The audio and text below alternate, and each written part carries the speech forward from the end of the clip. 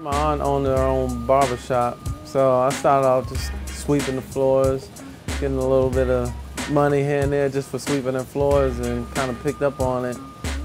And also had my experience, bad experience of bad haircuts, you know, just going to local places and not getting. So I was like, oh, I just started cutting my own and that led on to my friends and so on.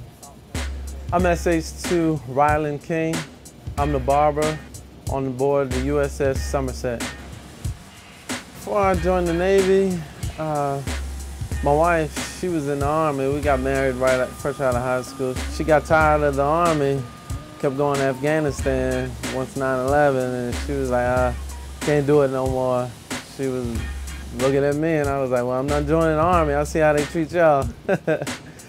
so my first choice was the Navy, so here I am to become a barber or being able to cut hair.